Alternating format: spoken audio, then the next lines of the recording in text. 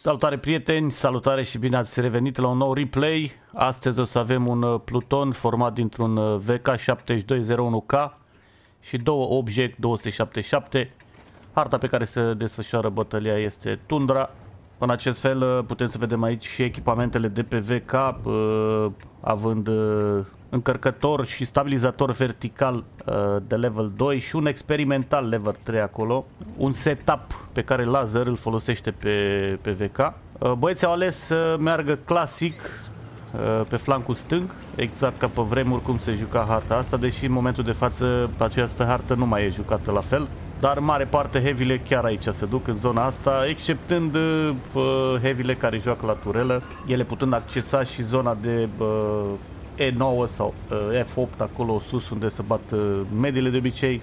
Dar cea mai bună zonă pentru heavy și cea mai de preferat este exact aici unde se duc și băieții, zona de F1, de aici putând să, să țin un focus cu celelalte heavy inamice. Totodată aici trebuie ținut cont acolo unde e Skoda la, la F2, neapărat să ai tank acolo, cel puțin să-ți lumineze zona respectivă ca să nu fii la un moment dat să te să întâmple surpriza să ai tancuri în spate.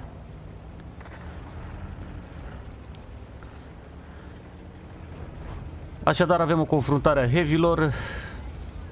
Tiger Mouse acolo și foarte bine uh, lovește VK-ul. Încasează acolo un 661. Uh, Din nou focusat uh, Tiger Mouse. Și de data asta VK-ul scoate un bounce dar ia să vedem un pic uh, și configurația VK-ului, cam ce armament folosește și ce armură are pe el.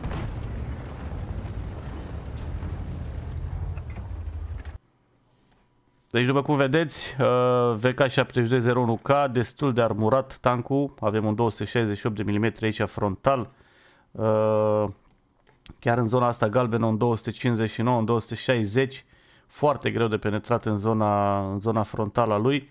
Uh, părțile cu roșu 300 de milimetri, chiar frontalul aici pe partea de sus un 300 plus. La fel e, e foarte, foarte barmurat și în zona asta. Aici la manșon de multe ori intră pentru că e un 197, zona cu albastru. Uh, încercați să prindeți o poziție cumva în lateralul tunului dacă vreți să-l penetrați, însă o să dau un zoom aici, chiar partea asta până aici, pentru că aici vedeți aveți 300 și aici doar 100 și ceva în zona tunului de la inelul de 454, inelul Rose.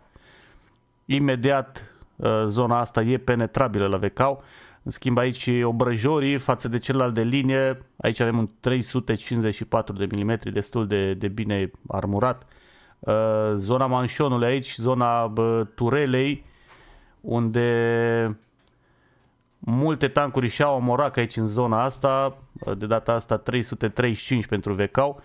Uh, inclusiv căpăcelul de aici e 192, dar greu de pălit aici locașul ăsta vizor. La fel putem să lovim vecau aici în zona de sus a căpăcelului 128, dar căpăcelul e foarte mic, deci până la urmă cred că zona asta rămâne cea mai vulnerabilă a vecaului. Zona de lângă tun și aici puteți să-i dați frontal, să încercați să-i dați damage cel puțin. În lateral, bineînțeles, în lateral uh, treaba asta altfel, e penetrabil aproape peste tot, dar pentru uh, poziția lui, cum va veni chiar în felul ăsta, deci doar aici, în zona asta, să încercați un 200, 200 și ceva, vedeți că după cum schimb poziția tancului, se schimbă și poziția și uh, cifrele pentru armură. Asta înseamnă că trebuie să vă țineți cont uh, de o poziție, un unghi de 45 cel puțin pentru frontal la vecau este vulnerabil.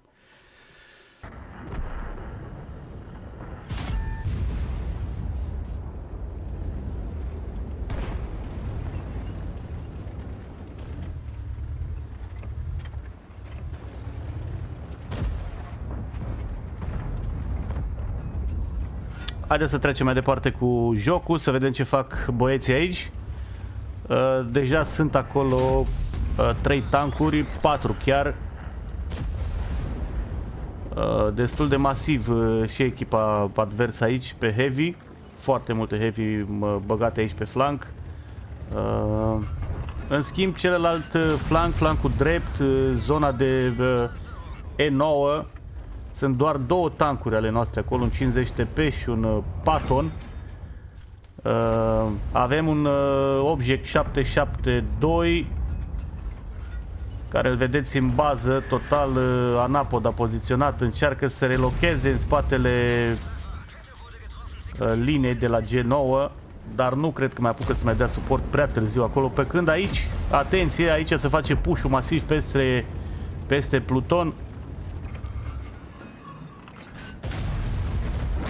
VK-ul continuă să, să lovească aici decisiv, shot după shot destul de destul de mult damage pentru, pentru VK.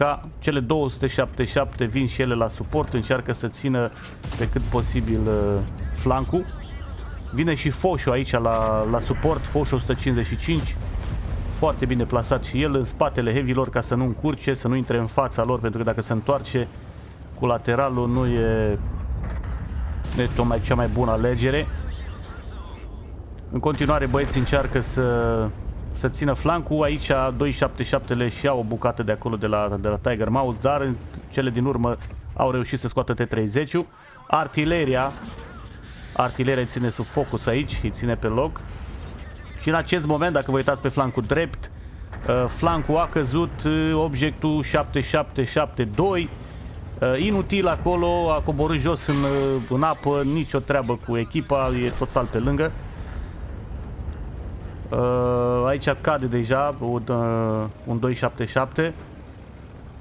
Uh, mai rămâne în momentul de față un singur 277 VK și Foșu aici pe flancul ăsta. Vezi că scoate acolo, scoate 50 TP-ul, dar în acest moment și 277 este scos de artilerie.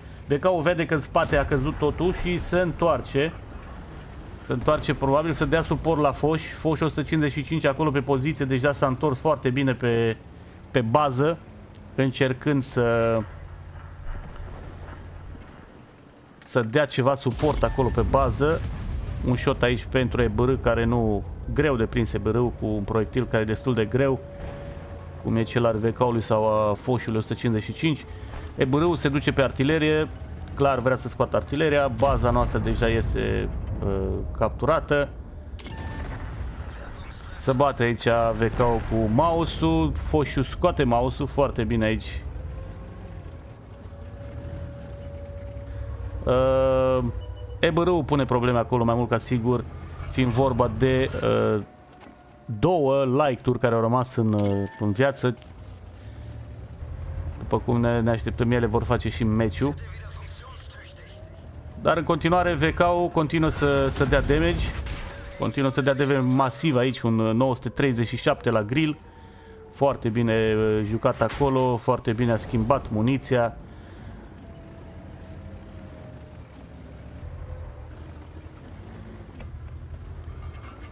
Foșu încearcă să încarce în spatele VK, de, deși în momentul de față VK-ul cade pentru că tot flancul s-a repriat aici. Și cam asta a fost meciul, un 7900 uh, de meci pentru, pentru VK. Uh, cu un pic de suport din partea echipei, meciul putea să arate altfel, dar un meci bun, bravo băieți!